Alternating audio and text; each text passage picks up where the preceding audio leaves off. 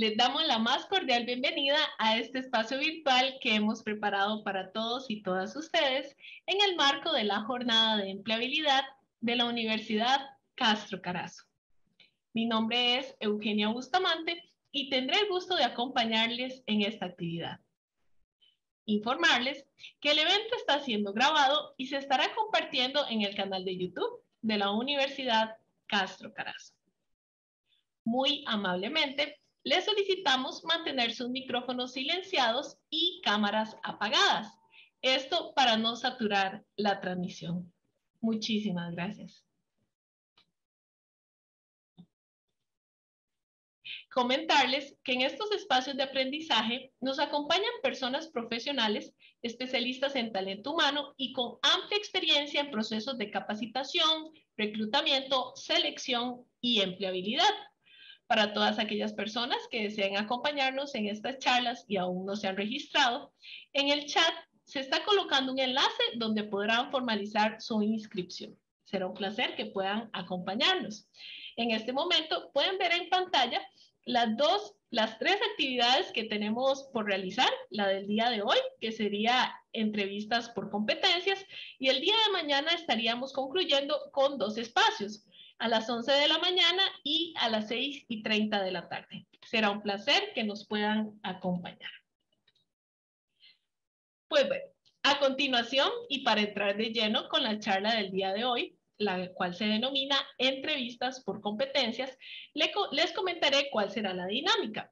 Conforme vaya avanzando la actividad, tendremos espacios de interacción en los cuales la persona expositora nos va a ir haciendo consultas, nos va a ir pidiendo que interactuemos. Y también vamos a tener habilitado el espacio del chat. En este espacio del chat también nos pueden ir compartiendo consultas y nosotros al finalizar la presentación vamos a presentar esas consultas a nuestras personas expositoras y ellas nos van a apoyar brindándonos respuestas al respecto. Pues bueno, sin más preámbulo, les presentaré a nuestras invitadas especiales de esta noche. Hoy está con nosotros Rebeca Fallas Mata. Rebeca es coordinadora del equipo de atracción y adquisición de talento en EY Centroamérica, República Dominicana y Panamá. Su formación profesional es en psicología organizacional. Tiene seis años de experiencia en procesos de reclutamiento y selección de personal a nivel global específicamente en 15 países. Tiene conocimiento en diferentes industrias de consumo masivo, retail, comercial, tecnología, finanzas, recursos humanos, shared service, producción, entre otras. Es bilingüe y especialista en entrevistas por competencias. También nos acompaña Roxana Quevedo Rodríguez. Roxana es especialista en reclutamiento en EY Centroamérica, República Dominicana y Panamá. Su formación es como licenciada en psicología de la Universidad Centroamericana José Simeón Cañas, UCA, ubicada en El Salvador. Cuenta con formación adicional en pruebas psicológicas y de comportamiento y liderazgo situacional. Además, es docente universitaria de las cátedras de Psicología aplicada a la empresa y comportamiento del consumidor. Tiene 15 años de experiencia en gestión de recursos humanos en el rubro industrial, consumo masivo, comercio y servicios. Pues con nosotros esta noche contamos con la grata presencia de Rebeca y Roxana. Rebeca y Roxana, qué gusto que nos puedan acompañar. De verdad que es un verdadero placer contar con su grata compañía. Gracias a vos, Eugenia, por, por invitarnos. Realmente también estamos muy emocionados de estar acá con, con ustedes em, con un tema tan importante, ¿verdad? Que son las entrevistas por competencias. Creo que lo escuchamos eh, constantemente en cualquier proceso de, reclutamiento, inclusive si alguno de ustedes se ha metido a, Google, ¿verdad? Como cuáles son las consultas o las preguntas que, se realizan en, en, una entrevista. Y pues hoy vamos a ver de lleno qué son las entrevistas por competencias, cuál es el método que, que más se utiliza en reclutamiento con respecto a eso y también cómo poderlas enfrentar de, de, una forma efectiva. Y pues esperamos que el espacio sea de gran provecho para cada uno de ustedes. Cualquier consulta que tengan, como, como lo dijo Eugenia, pues siéntanse en la libertad de, de colocarlo acá por el chat y con muchísimo gusto nosotros les vamos a, a colaborar. Roxana, adelante.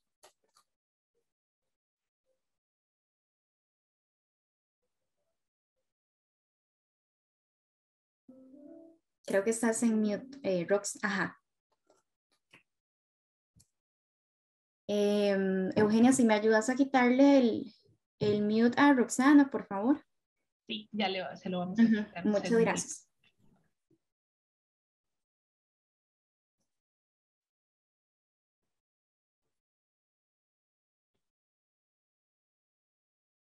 Listo, ya ahí ella puede eh, manejar el sistema de sonido, eh, activarlo y desactivarlo. Gracias.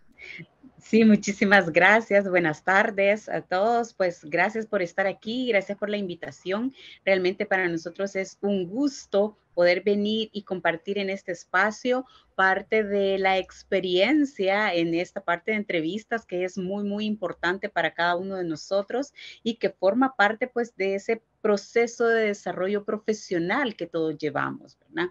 En este sentido, aprender acerca de las competencias, de las entrevistas por competencias, de qué es una competencia y de algunos aspectos eh, importantes que hoy en día vivimos en, eh, a través de la transformación global que, que, cada uno de los eventos ha ido impactando eh, en las organizaciones y que ha requerido pues que se tome más este tema de las competencias para nosotros es sumamente importante y realmente nos...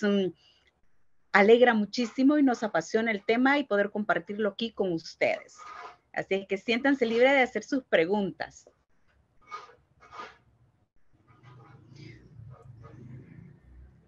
Ok, entrando ya en materia. Rebe. Sí, eh, bueno, el día de hoy les traemos estos puntos de acá. Primero que todo, la presentación, ¿verdad? Que es muy importante que ustedes eh, nos conocieran, conocieran un poco sobre nuestro background. Vamos a ver puntualmente lo que es una entrevista por competencias, qué es una competencia, em, en, sí, el modelo de, entrevista y la metodología que más se utiliza em, o, que más, o que es más utilizada por los reclutadores y pues un espacio de preguntas y de agradecimientos.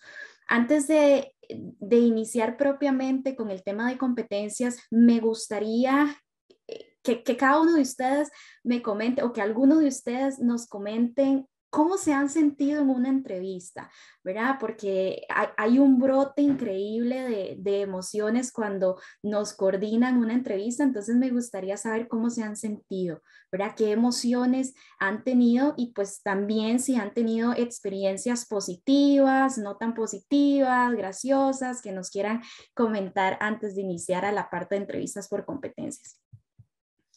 Eh, les leo acá por el chat, inclusive si, si alguno o alguna se siente cómodo de habilitar el micrófono para contarnos eh, pues alguna experiencia, también lo pueden, lo pueden realizar. En ese caso, Rebeca, si alguien desea eh, compartirnos su experiencia verbalmente, lo que necesitaríamos es que vayan a la partecita de reacciones de la herramienta y levanten la manita. Entonces, así nosotros les vamos a habilitar el audio. Ok, perfecto. Em, creo que ya tenemos a Jace Espinosa, perdón si no dije bien el nombre. Y después vamos con Jessica Espinosa. No sé si son la misma persona, pero, pero bueno, si quieres, Eugenia, le podemos habilitar a Jace.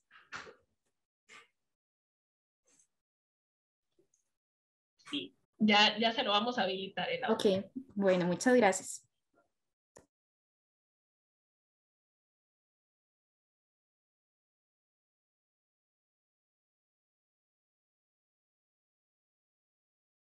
Ahí, ya le estamos habilitando el audio. Lo que ocupamos es que le dé aceptar a un mensajito que le, que le va a estar apareciendo en la pantalla para que pueda compartirnos su eh, comentario.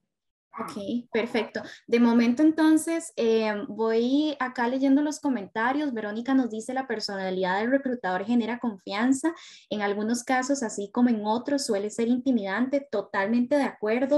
Y yo creo que es una práctica que deberíamos hacer todos los reclutadores, ¿verdad? Porque los candidatos muchas veces pueden venir un poco ansiosos, las entrevistas ya por sí solas generan estrés y es importante que demos ese espacio, esa confianza, como vos decís, para que la persona se sienta tranquila y se sienta em, en el lugar adecuado para brindar la información que nosotros necesitamos eh, pues analizar o recopilar dentro del proceso de evaluación.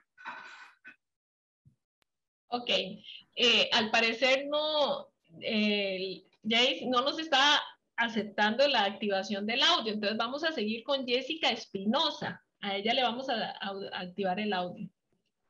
Ok.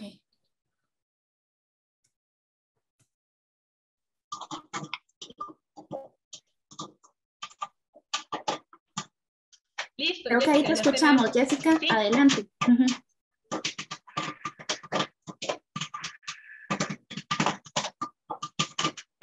Jessica, disculpa, creo que no, te estamos escuchando. Buenas tardes, ¿cómo están? Sí, buenas tardes, ¿cómo estás, Jessica? Qué honor tenerte acá. Muy, bien, ¿y ustedes? Muy bien, gracias. Adelante, te escuchamos. ¿Sí me escuchan? Sí, sí te escuchamos, adelante. Ok, este, ok, perfecto. Bueno, lo, que quiero compartirles es que justamente esta, eh, pues este video que vamos a ver hoy Mañana tengo una entrevista de trabajo en una entidad pública que es totalmente, pienso yo, algo mucho más serio que, de cual todas son serias, pero que la privada, ¿verdad? Entonces sí estoy como con la incertidumbre de qué va a hacer porque hasta me mandaron un material para estudiar y cosas de, bueno, materia de servicio al cliente que uno sí lo maneja por los años de laborar, a como hay cosas eh, materia a nivel interno de la institución, eh, eh, artículos y pues muchas cosas que entonces estoy así como con la incertidumbre de, de qué, a qué voy mañana, porque nunca he ido a una entrevista, eh, algo así tan serio, por decirlo así. Este, entonces, esto que, este video que vamos a ver hoy me va a servir mucho, creo yo, para mañana. Sí tengo que llegar con la, llegar con la seguridad de, pero bueno, ahorita sí quería compartirles eso y voy a estar muy atenta porque la verdad el tema está muy interesante y me va a ayudar un montón para la entrevista que tengo mañana. Eso era lo que quería compartirles. Muchas gracias. Y muy agradecida por la oportunidad. No, nosotros también estamos muy agradecidos. Muchas gracias a vos también por, por compartirlo. Desde ya te deseamos muchísimos éxitos y esperemos que este espacio sea eh, pues de gran provecho y muy productivo para ti para darte cuenta de cómo son las entrevistas, qué es lo que usualmente nosotros evaluamos en las mismas.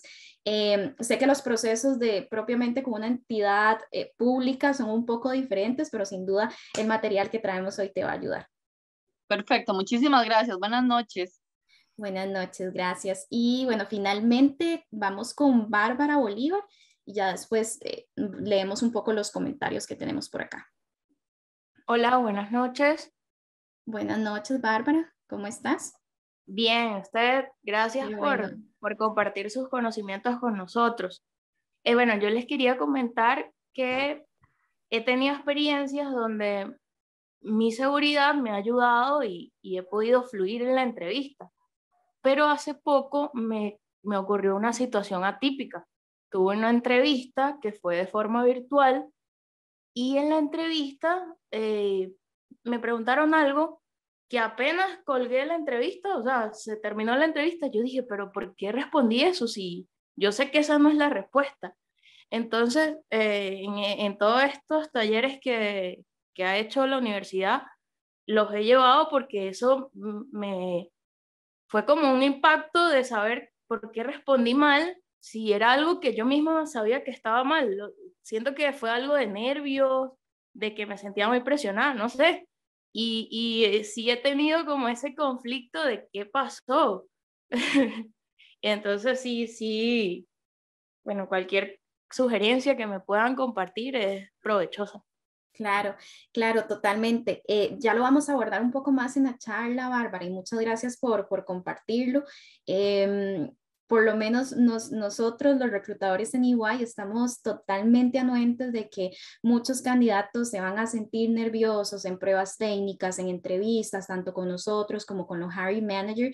Y para nosotros siempre es muy importante abrir ese espacio, ¿verdad? Si vemos que tal vez el candidato no contestó eh, las pruebas como nosotros queríamos, preguntarles cómo se sintieron, si tomaron las pruebas en un espacio que tal vez no era el más adecuado y, ¿verdad? y, gestar ese espacio para escucharlos a ustedes porque Em, sabemos que esta parte de, de, los nervios sin duda puede influir en el, en el desempeño de una entrevista o en el desempeño de una prueba técnica.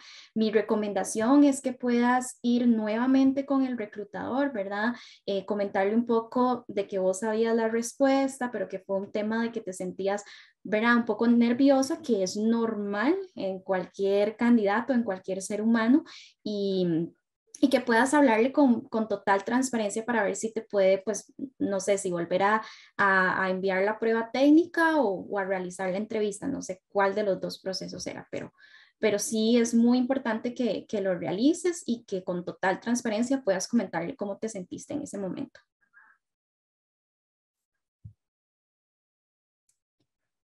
Em, bueno, vamos a pasar acá con otros comentarios de Paola nos comenta, en estos casos depende de la persona que me entreviste.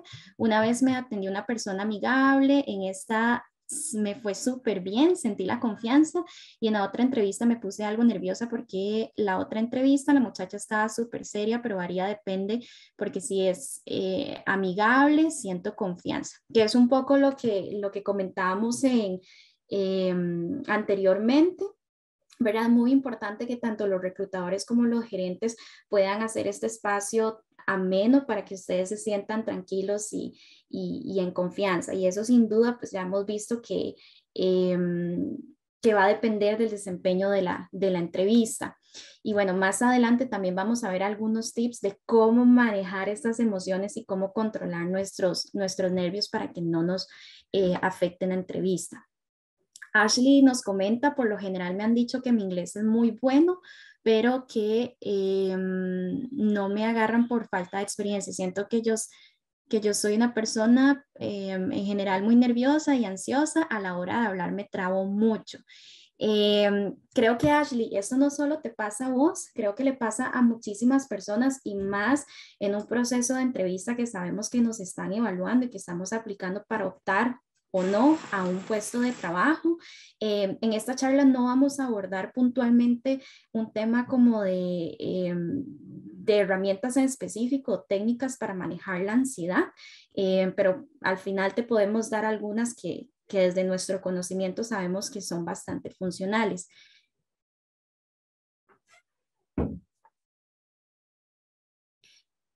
Eh, vamos a ver, estoy leyendo el último comentario de Rolando que dice, favor comentar sobre las preguntas personales que no tocan los temas profesionales.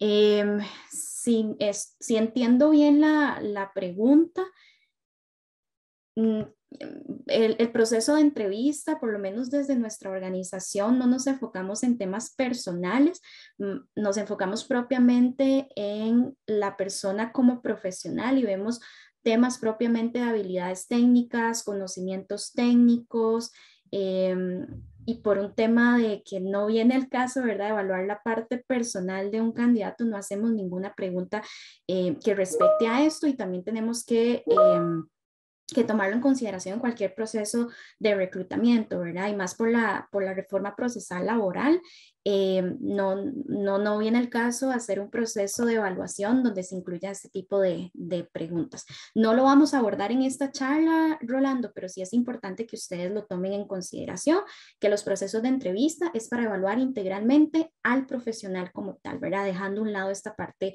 personal. Adelante no voy a seguir, eh, no voy a leer ahorita los comentarios, los vamos a dejar para em, cuando va avanzando la charla por un tema de tiempo.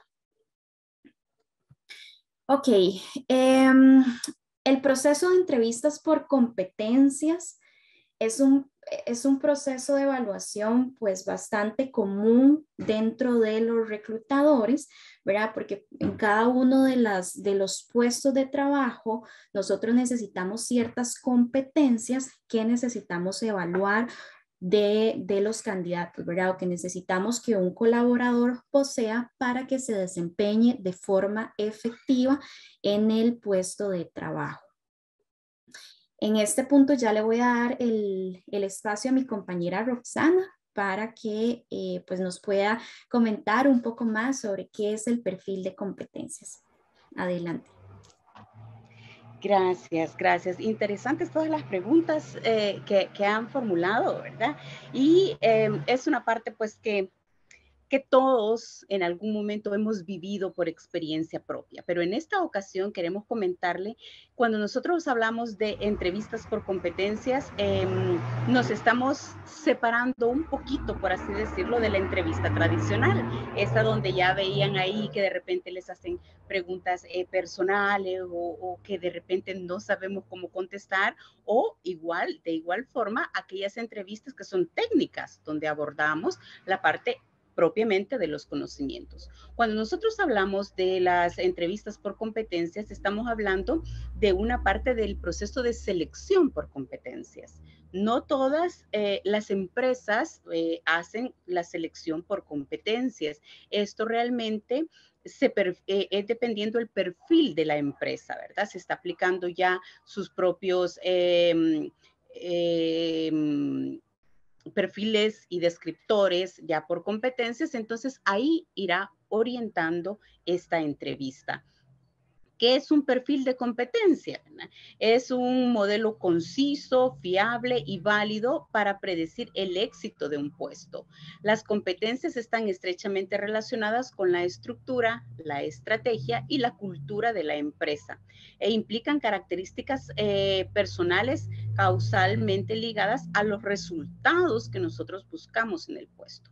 Por ejemplo, cuando hay eh, la mm, compañera que participó decía, voy a una entrevista en una entidad de gobierno, me han mandado un material, ¿verdad? Que yo debo estudiar. Entonces están ya como que perfilando el tipo de entrevista que va a tener. Es decir, revise el material, chequelo bien, ¿verdad? Porque va a ser también parte de conocimientos.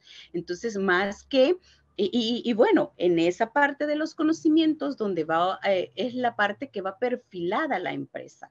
Y entonces es lo que ellos están visualizando en sus estrategias que va a ser el éxito del puesto. Y entonces por eso nos debemos preparar pero qué bien que ya se lo anticipan. Las entrevistas por competencias, ¿verdad? Es detectar a través de preguntas los comportamientos observables que en el pasado nosotros pudimos tener en relación de una competencia que nosotros buscamos para eh, poder hasta cierta manera predecir un comportamiento futuro. Es decir, vamos a hablar de lo que ya vivimos o cómo resolvimos una situación. Esa es una competencia, Ese es el tener ya desarrollado una respuesta, por así decirlo, ¿verdad? Para una situación que se nos pueda dar.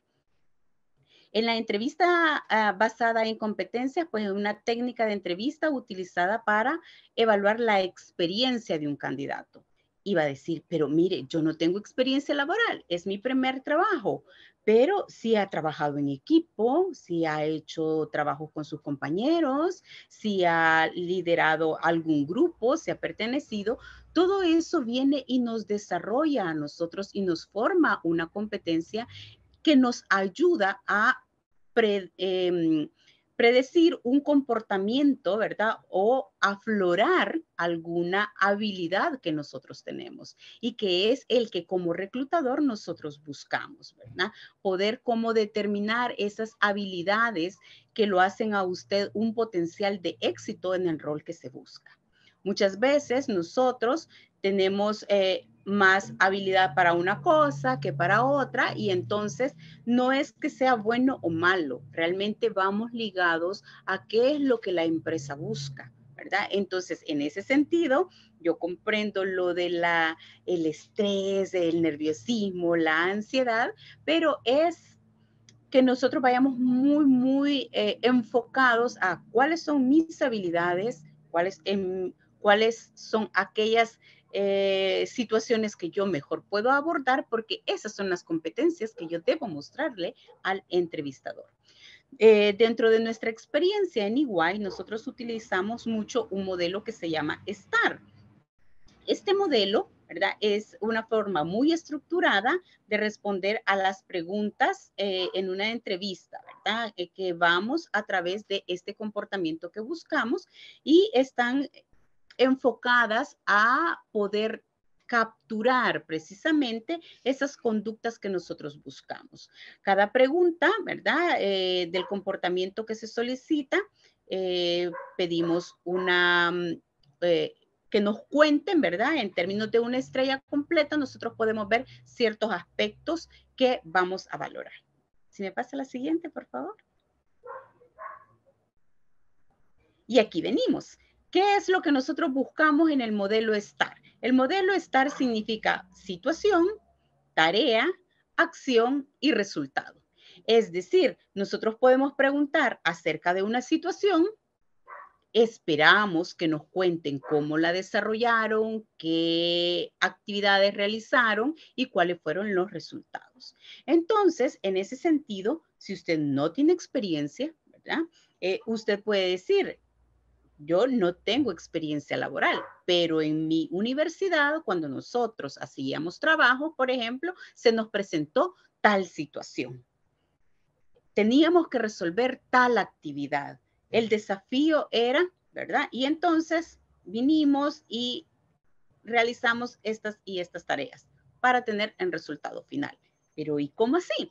Por ejemplo, alguien me podría decir, fíjense que eh, teníamos que hacer un trabajo en grupo y se nos cayó eh, el día que lo teníamos que entregar, se nos cayó el internet y no lo podíamos mandar. Y entonces yo tomé la, iniciativa o el liderazgo, ¿verdad? De reunirnos con otros compañeros, llevarlo y poderlo presentar o desplazarnos a la casa de otro de los integrantes del grupo para tener como resultado la entrega exitosa a tiempo, que denotaba nuestra responsabilidad. Ese es un ejemplo, ¿verdad? Así, un poco a lo, a lo universitario de cómo se puede aplicar el método STAR. Es decir, nosotros debemos recordar, hacer una búsqueda dentro de nuestro bagaje de experiencias, cómo resolvimos una situación eh, que se nos puede presentar también en el trabajo, en lo laboral. De repente, pues ahí es donde nosotros venimos y conjugamos de las respuestas de nuestros candidatos cuál es aquella que mejor se acopla al método de resolución de, de, un problema, por ejemplo, de un desafío, como en este caso. Y entonces, nosotros ahí estamos evidenciando nuestras competencias para manejar una temática determinada. Este es un ejemplo, podríamos buscar muchos otros, pero con esto lo que les queremos dejar, pues, como, como dentro de sus conocimientos, es que estas son como de las técnicas para que nosotros podamos evidenciar que sí existe una competencia. De repente le puede decir cómo hizo eh, o si se le ha presentado alguna situación donde haya tenido que presentar dos trabajos al mismo tiempo, ¿verdad? El mismo día, cómo hizo, cómo se organizó. Entonces, ahí nosotros venimos y empezamos a encontrar cuáles son ese bagaje de habilidades especiales, de comportamientos que lo van a llevar al candidato a afrontar de una mejor forma cualquier situación que se le presente y a dar buenos resultados. Entonces, así se utiliza el método en estar. Una situación, ¿verdad? Una tarea, la acción que, es, que descubre cómo nosotros enfrentamos y, por supuesto, el resultado final. ¿Podemos pasar, por favor? Perfecto. Acá yo solo quería agregar. ¿Quieres agregar algo? Sí, sí. Sí me escuchan. Gracias. Sí. Sí, ok, acá solo quería agregar, como vieron, es el método más utilizado en el proceso de entrevistas y que básicamente eh, a nosotros como reclutadores nos solicitan una posición, ¿verdad? Todos los conocimientos técnicos y ciertas competencias, que estas competencias lo que van a hacer es que le van a ayudar eh, al colaborador a afrontar de una forma positiva una situación en específico y pues que se acople de una forma más efectiva al, al puesto de trabajo. Es muy importante que cuando ustedes estén haciendo Em, el research, ¿verdad? De las, de las plazas en las que ustedes están postulándose, que ustedes revisen ahí cuáles son las competencias que está pidiendo esa posición. Usualmente en el job description se indica, bueno, necesitamos una persona eh, con capacidad de adaptabilidad. ¿Qué me dice eso? Que probablemente va a ser una posición donde em, la persona va a tener que adaptarse a diferentes ambientes o que es una posición que constantemente está cambiando y por ende necesita necesitan a una persona que no le tema y que no le cueste eh, ver adaptarse a cualquier cambio. Después podemos observar que tenga muy buenas habilidades de comunicación, que sea una persona orientada a la meta, orientada al servicio al cliente, em, trabajo en equipo, liderazgo.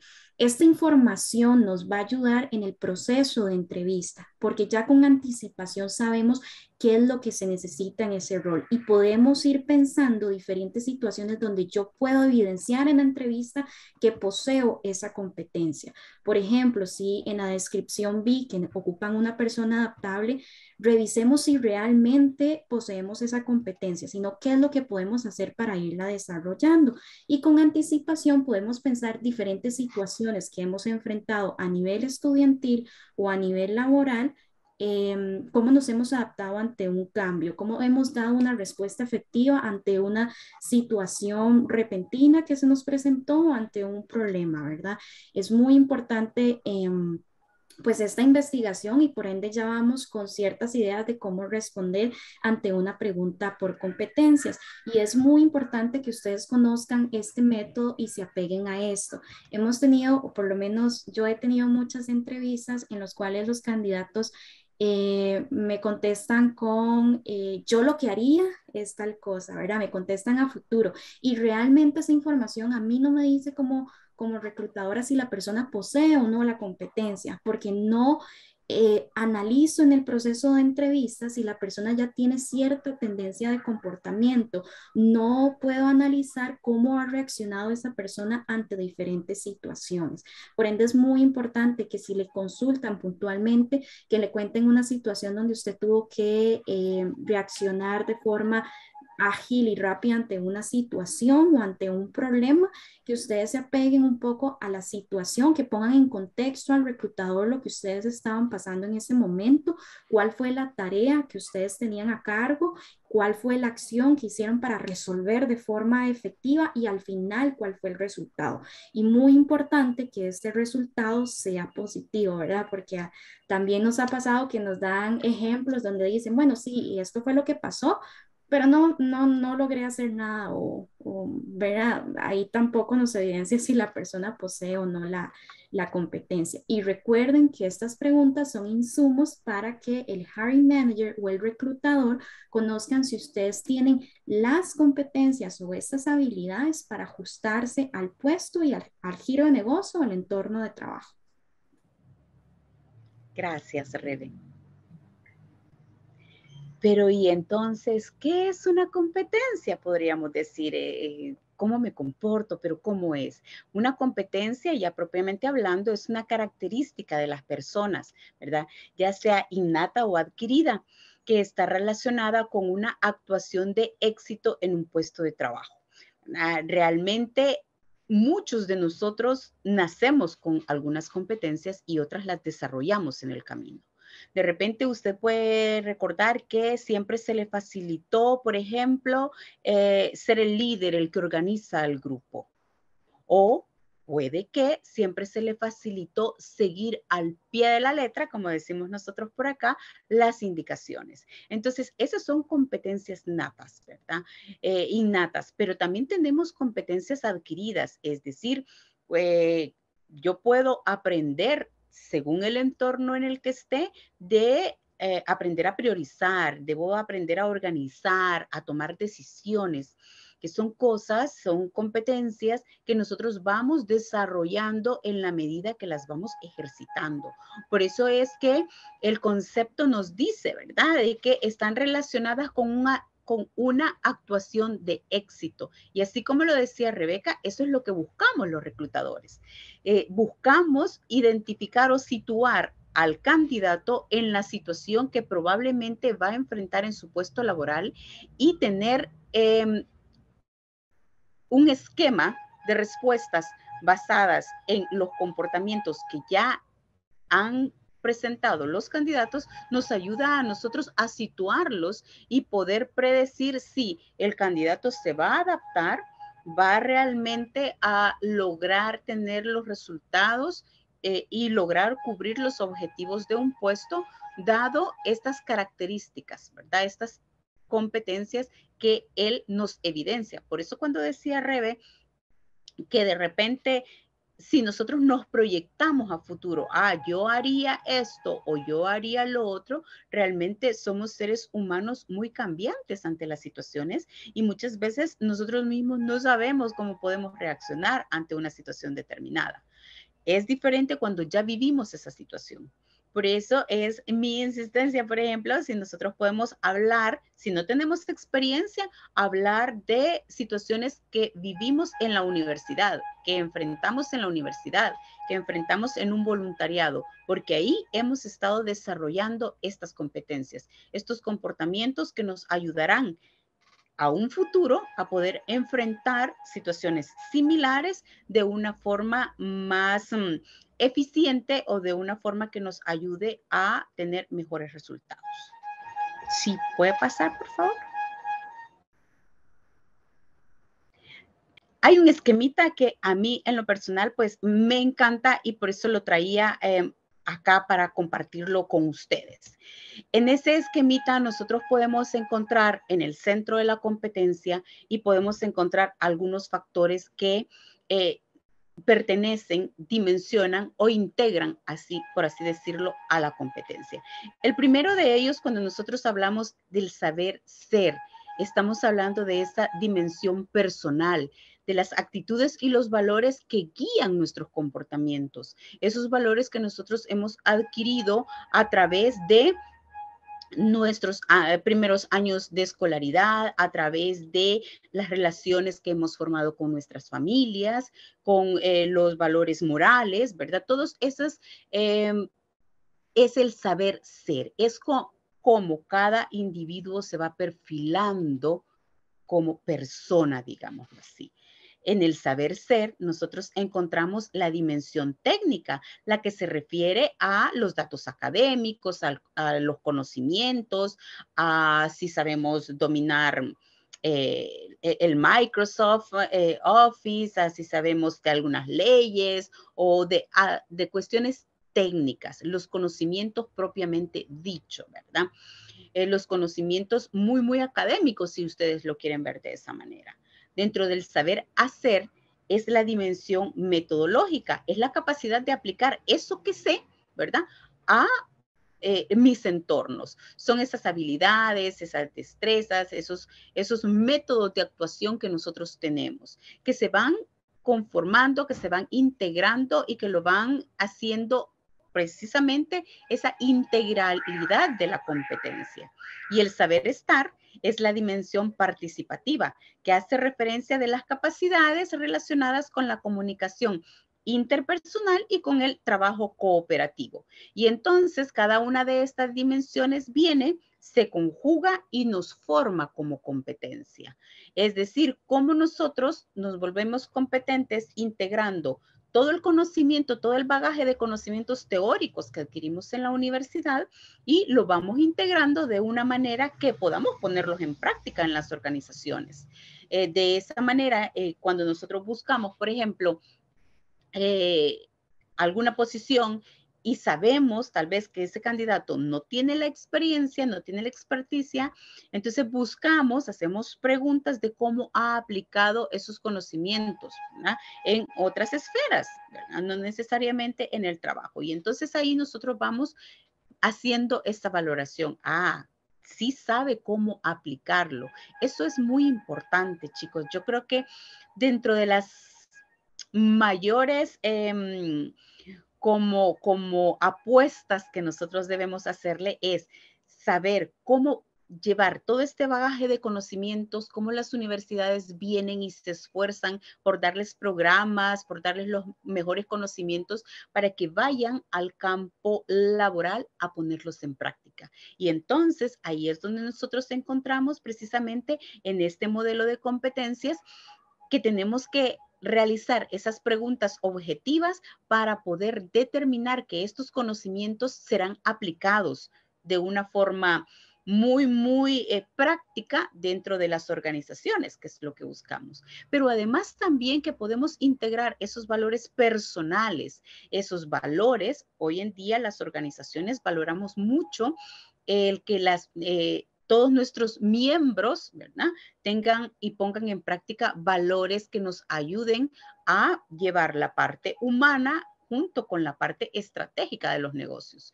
Hoy esa parte estratégica va muy ligado a esos valores humanos que nosotros tenemos por ahí. Y entonces, el, poder trabajar con los demás, el poder integrarnos de una forma asertiva, es lo que viene determinando este modelo de competencias que nos ayuda a nosotros a llevar eh, las a llevar los mejores elementos a las organizaciones, ¿verdad?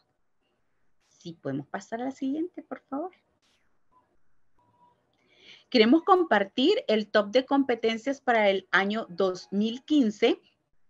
Este es un, una información que ha sido extraído del Foro Económico Mundial del 2020, ¿verdad? Donde vienen y hace la proyección hacia el 2025 de cuáles serán esas competencias como más valoradas por las empresas.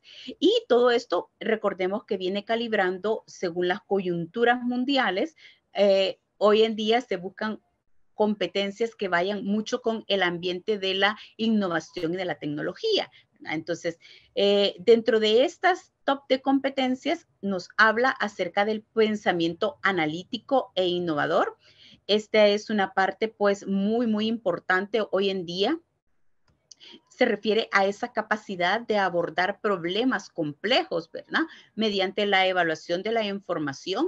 Eh, para nosotros eso es eh, ese pensamiento analítico hoy en día tiene que ser mucho más desarrollado, plantearnos cómo resolveríamos una situación, un problema complejo y llevar una idea de estas de este tipo de competencias a todos nos sirve a la hora de expresarnos, a la hora de desenvolvernos, parte de vencer ese nerviosismo quizás que ustedes hablaban al principio podría ir dado en la función en que yo me siento em, que he investigado, que estoy en la vanguardia, por ejemplo, de, lo que se está moviendo en el mercado laboral, de cuáles son las posiciones eh, que, más, las carreras que más em, están en el top hoy en día y tal vez eh, ver cómo las organizaciones precisamente están buscando este tipo de eh, competencias donde requiere que cada uno de nosotros saque las mejores estrategias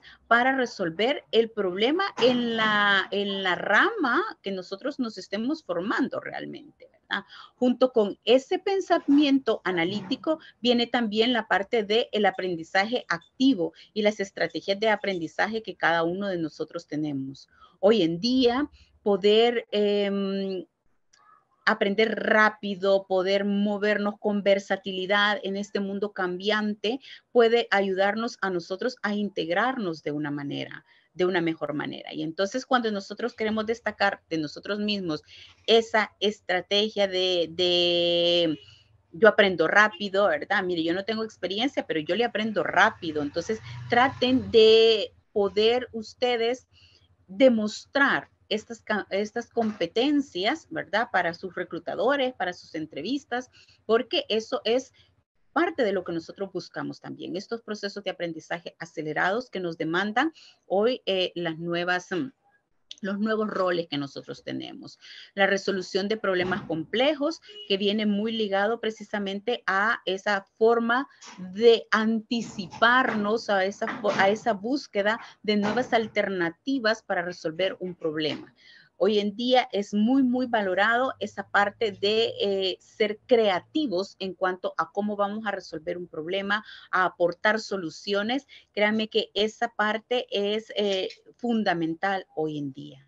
El pensamiento crítico y el análisis es otro de, de, de las competencias, pues bien valoradas, digámoslo así, ¿verdad?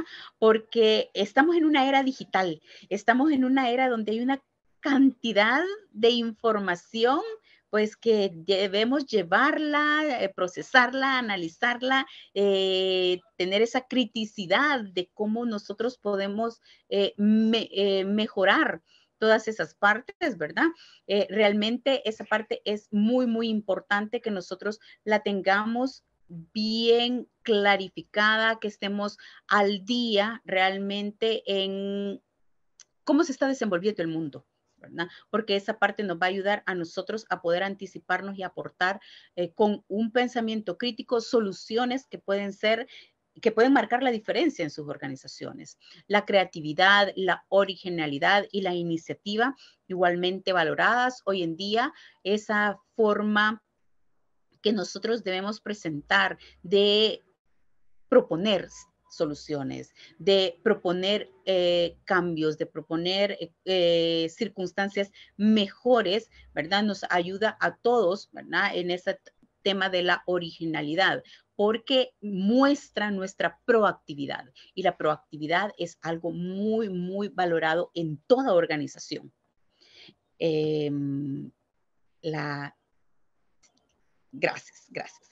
El liderazgo y la influencia social, ¿verdad? Eh, sigue también manteniéndose dentro de este top porque por pequeña o grande que sea la organización, necesita líderes, necesita personas que tengan la voluntad de llevar a otros, la voluntad de sacar adelante, eh, tomar responsabilidades sobre las actividades.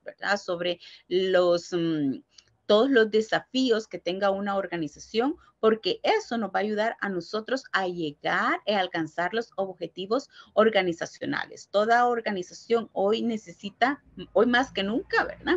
Necesita líderes que quieran crecer y hacer crecer a las organizaciones y al talento dentro de las organizaciones, porque el líder tiene que ir en función de eso. Entonces nosotros ahí es donde debemos conjugar nuestro liderazgo. Todos en algún momento desde pequeñitos mostramos esta, esta eh, competencia de liderazgo en mayor o menor grado. Desarrollarla para nosotros, para estas nuevas generaciones, es increíble. Es una competencia que realmente es muy, muy valorada. En cuanto al control de la tecnología, ¿verdad? Este, el uso, el seguimiento y el control de la tecnología, pues ya vimos, miren, estamos aquí en este espacio virtual donde nosotros necesitamos estar conectados, donde hoy en día pues ya no hay barreras. Nosotros em, lo, decimos también, ¿verdad? Alguien puede estar en un punto y puede estar conectado eh, con el otro lado del mundo, les digo yo, ¿verdad? Puede estar por allá por Australia, puede estar comunicándose eh, eh, para cualquier parte del mundo y entonces que la tecnología hoy no nos limite, perdámosle el miedo, tratemos de, de ejercitarnos unos con otros en cuanto a hacer este tipo de espacios virtuales, cómo manejarlo, ¿verdad? Cómo crear salas, cómo comunicarnos, porque esto realmente es hoy en día algo que las organizaciones lo utilizan en su día a día. Nosotros tenemos, eh, bueno, yo estoy en El Salvador, Rebeca está en, en, Costa Rica y en un día a día esto nos fluye a nosotros en nuestras relaciones laborales a cada instante. Ya no es una limitante la ubicación física. Todo lo de, debemos agradecérselo a las nuevas tecnologías y entonces que ustedes las dominen, chicos, es fenomenal y esto es algo bien valorado el diseño y la programación de tecnologías. Acá también quiero agregar que muchos procesos de reclutamiento están migrando a ser totalmente digitales y muchas empresas están optando por eh, herramientas que les permiten hacer procesos de entrevista automatizados o entrevista pregrabadas. Les pongo el ejemplo de nosotros.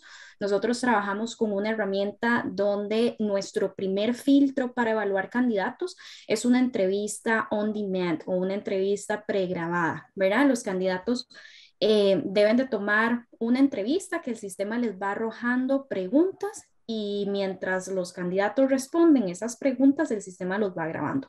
Entonces ya no hay una interacción en primer filtro con un reclutador.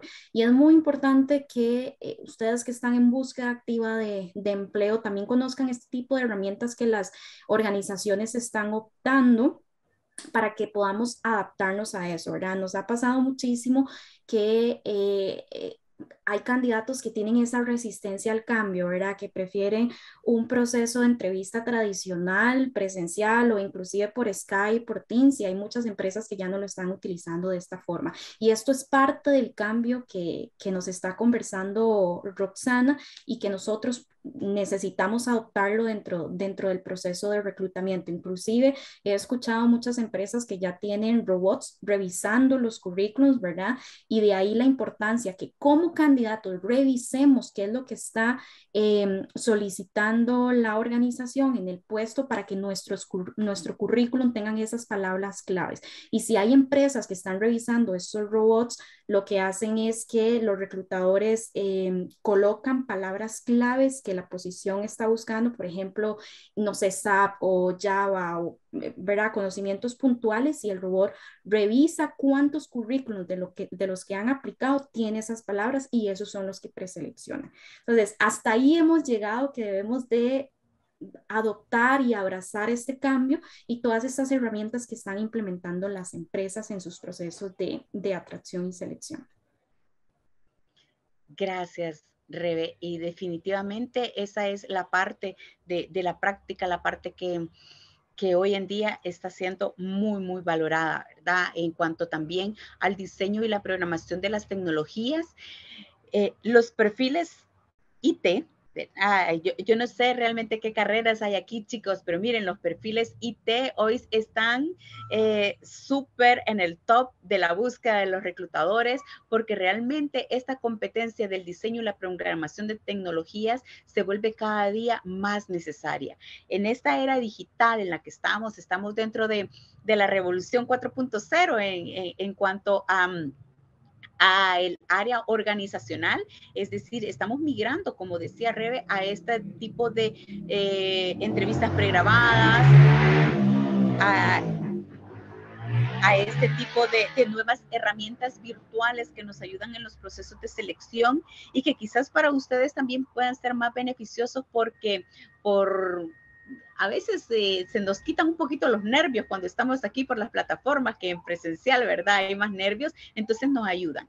Entonces, llevar esto de la mano, el uso de las tecnologías y con aquellos cuyas carreras profesionales van enfocadas a los perfiles TI, al diseño y la programación de las tecnologías, al desarrollo de, nuevas eh, herramientas, eh, está realmente como una de las competencias muy bien buscadas y es donde más debemos ponerle la creatividad y la gana de hacernos lucir en cuanto a nuestros perfiles.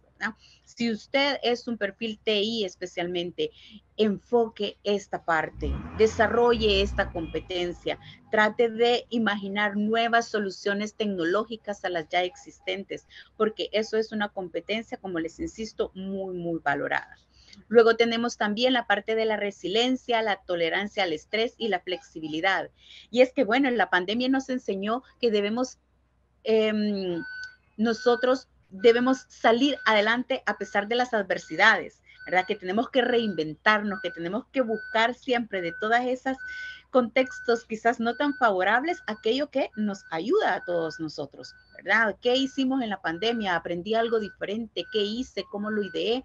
Entonces, ¿Por qué? Porque no sabemos qué es lo que nos depara el futuro. Las organizaciones necesitan realmente elementos, talento humano que pueda salir adelante a pesar de las adversidades, ¿verdad? De no quedarnos ahí como, ay, fíjese que como estoy bien lejos, eh, como no tengo todo, todo el recurso que yo necesitaría. Quizás nadie lo tenía en la pandemia, ¿verdad? A veces circularon tantos videos donde la gente se conectaba y armaba sus espacios en un pequeño espacio, entonces aprender de esa resiliencia, salir adelante, eh, buscar siempre el alcance de los objetivos es algo bien, bien valorado en las organizaciones. De repente le pueden preguntar a usted cuál es el mayor reto de su vida, ¿verdad?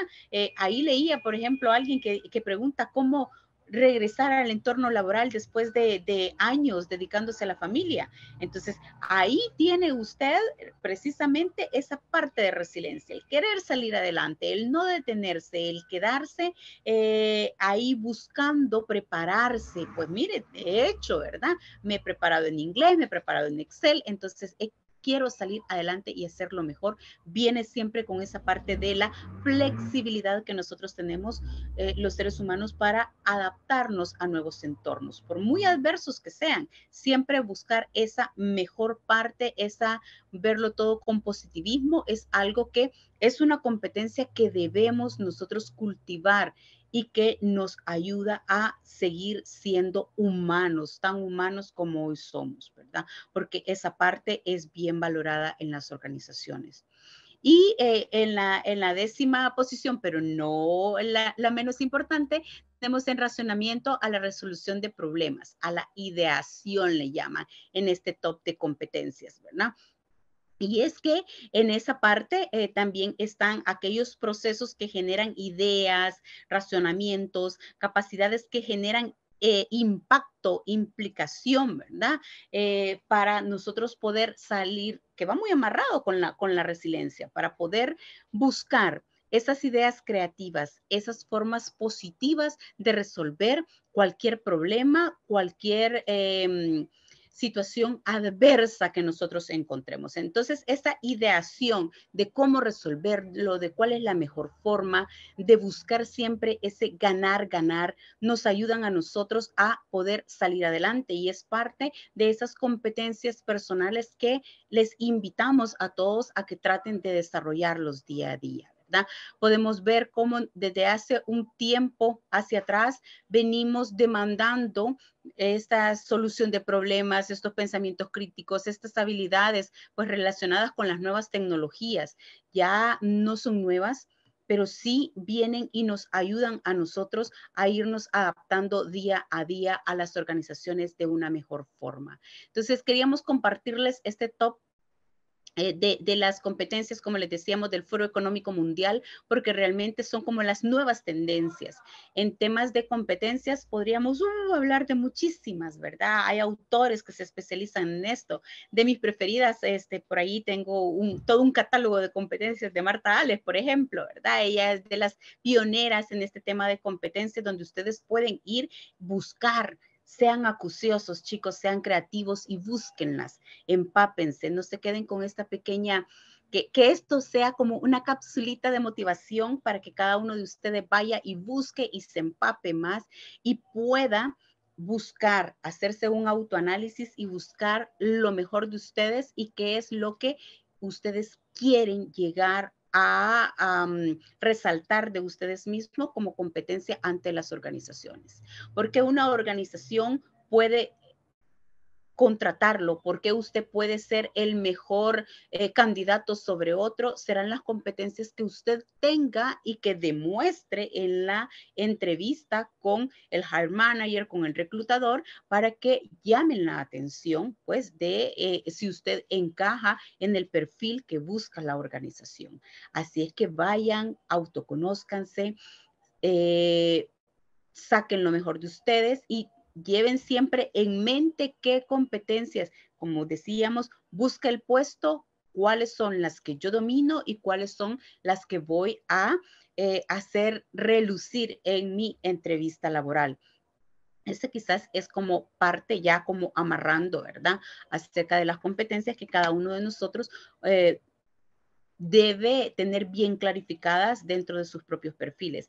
Esto también les ayudará a llegar a una entrevista con seguridad, conociendo cómo son ustedes, ¿verdad? Sintiéndose más tranquilo, bajando esos niveles de estrés que son totalmente normales, esa ansiedad, ¿verdad? Porque nosotros si vamos a un trabajo es porque necesitamos crecer profesionalmente y entonces esto conocernos, saber qué es lo que buscan las organizaciones, saber cuáles son las nuevas tendencias en el ámbito laboral, nos ayudará a todos pues a llegar con una cuota un poquito de más tranquilidad a esa entrevista tan ansiada. Si podemos pasar a la siguiente, por favor. La entrevista es la, herramienta por excelencia, ¿verdad? Para la selección personal. Es uno de los factores que más influencia tienen a la hora de tomar decisiones dentro de, eh, para diferenciar si me quedo con un candidato o con otro.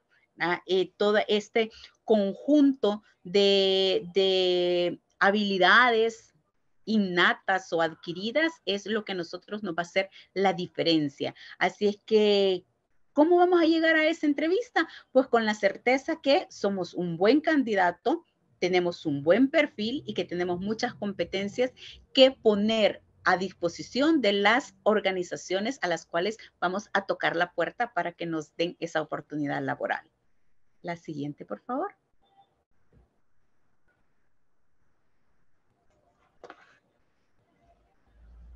Y algunos consejos prácticos para tener éxito en una entrevista virtual. Em, va más enfocada a la virtualidad porque estamos hablando precisamente acerca de, cómo las tecnologías vienen y nos ayudan, ¿verdad? Pero también podemos enfocar algunas a presenciales.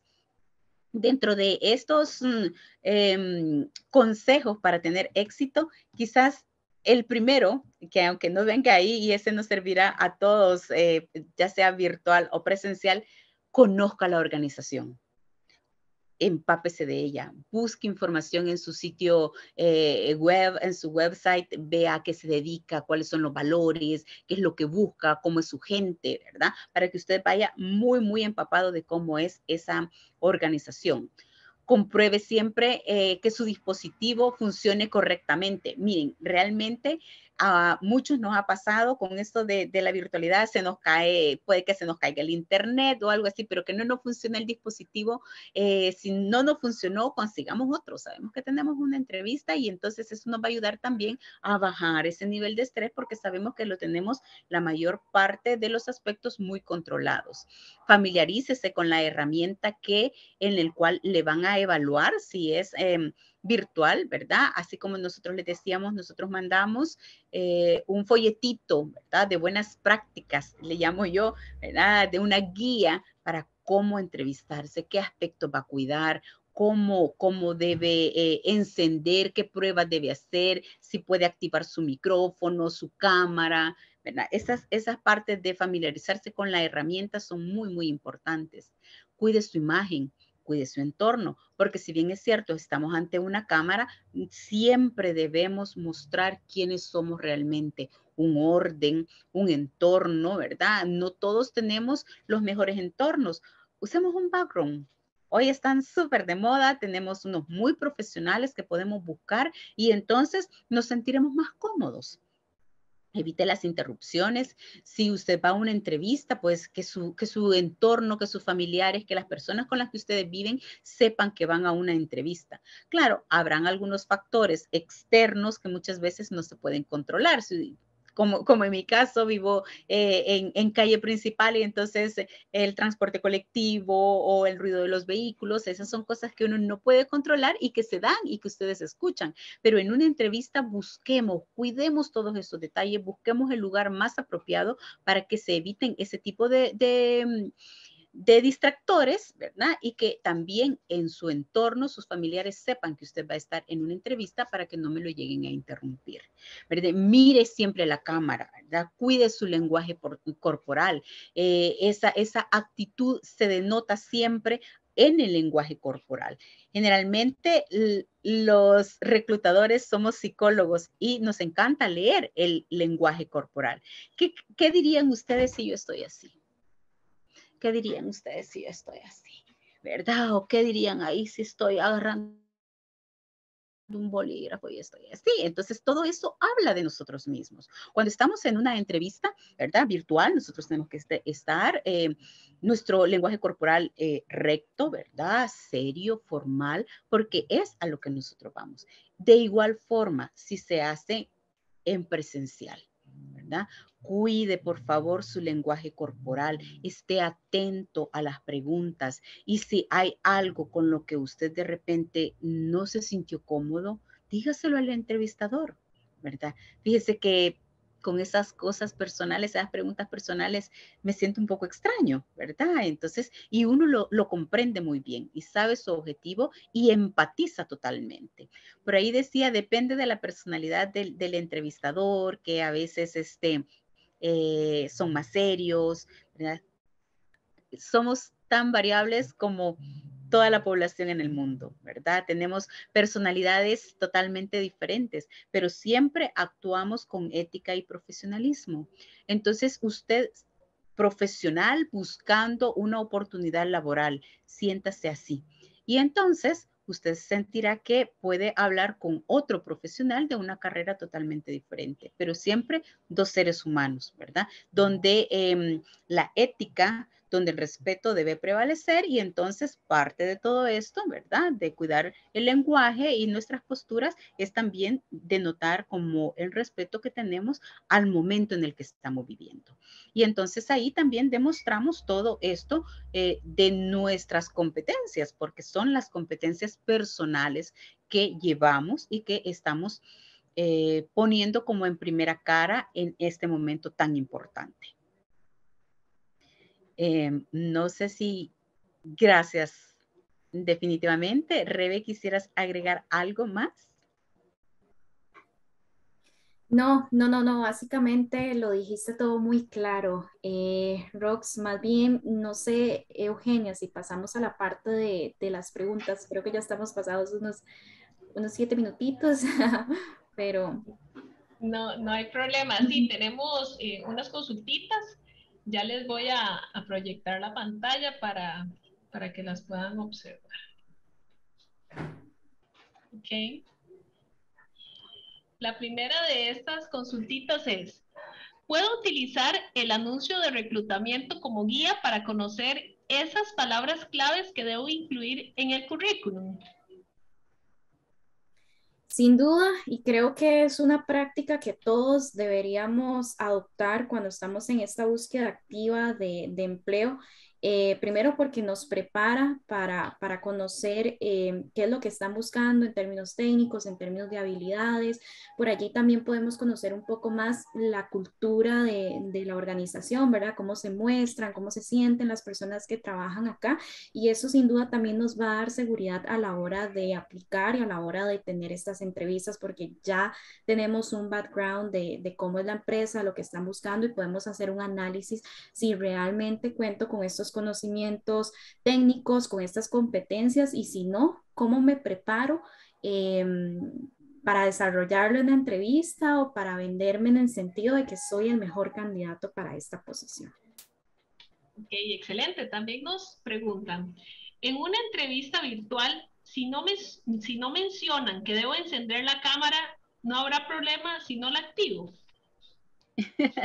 en ese sentido, eh, déjeme comentarle que es así como vital desde mi punto de vista encender la cámara.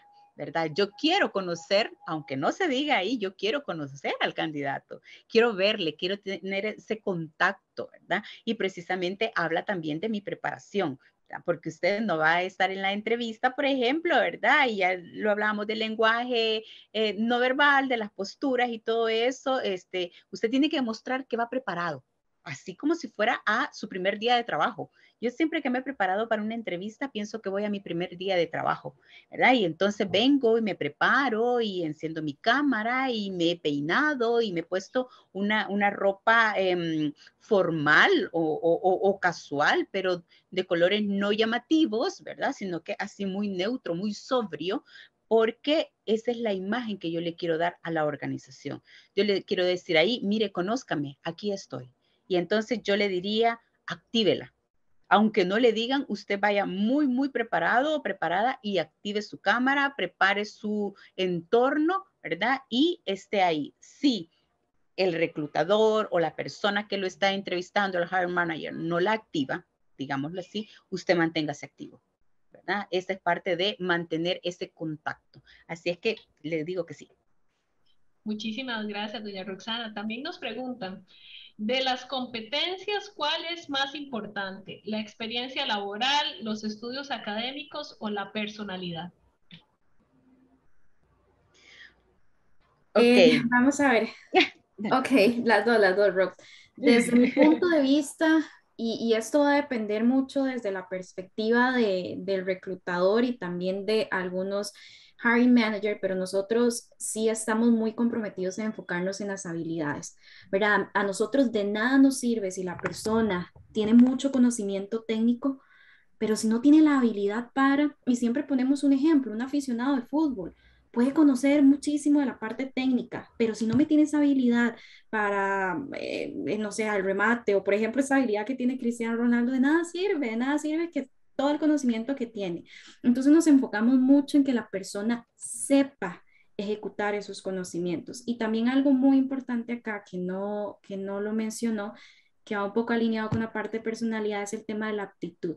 Tampoco me sirve eh, una persona que tenga todos los conocimientos técnicos, que sepa ejecutar esos conocimientos técnicos, pero si su actitud, aptitud, perdón, no está alineada a querer hacerlo, pues va a ser una persona que no se va a integrar al giro de negocio, no se va a integrar a la cultura, porque su motivación es totalmente diferente a, la, eh, a lo que está buscando esa organización. Entonces, por ende, la persona va, va a terminar saliendo de la, de la empresa.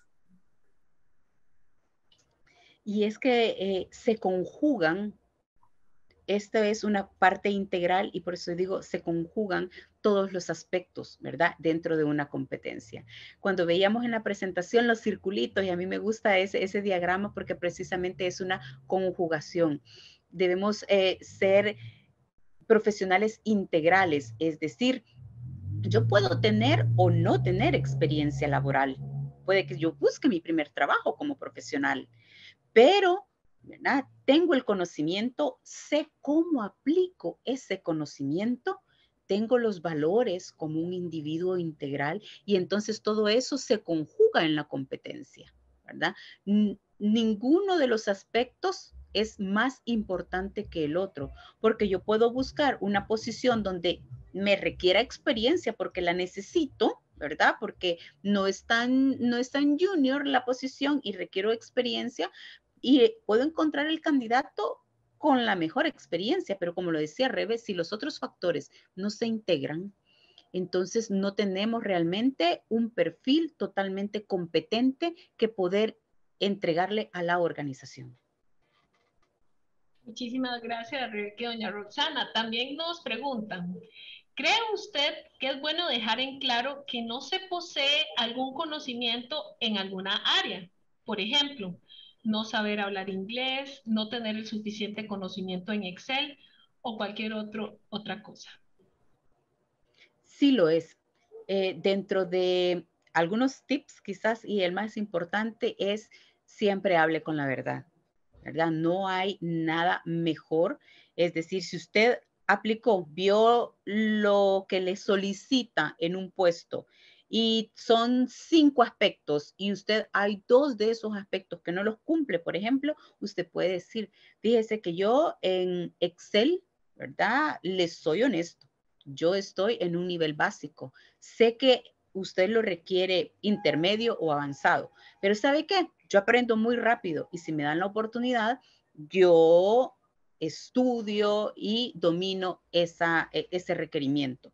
Y entonces ya será decisión ¿verdad? Del reclutador o del hire manager si sabe que puede cubrir esa brecha, ¿verdad? Nosotros así le llamamos. Son brechas, ¿verdad? En cuanto a los perfiles. Y entonces sabrá si esa brecha es eh, manejable en un corto tiempo y si el requerimiento del puesto lo permite. Pero siempre hay que ser honestos, ¿verdad? Y por qué de repente puede suceder que usted dice que sí es bueno en algo y le hacen un examen y entonces no, va, no lo va a pasar, ¿verdad? O, o imagínese que no hizo el examen y lo contrataron y entonces la empresa se va a sentir defraudada porque va a decir, me mintió.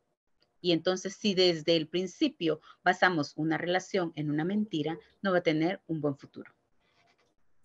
Acá solo agregar que también podemos basarnos en ejemplos. Recuerdo un candidato que me comentaba eh, cómo, cómo adquirió muchos conocimientos en un área. Él me decía, bueno, no tengo conocimiento en esto específicamente que usted me está solicitando, pero le cuento un ejemplo de mi trabajo anterior.